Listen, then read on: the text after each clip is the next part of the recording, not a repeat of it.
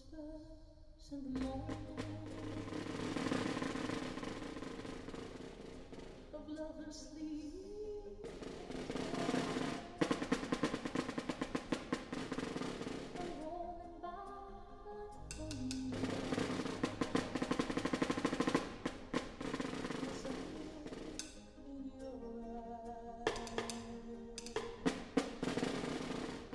Hold on to your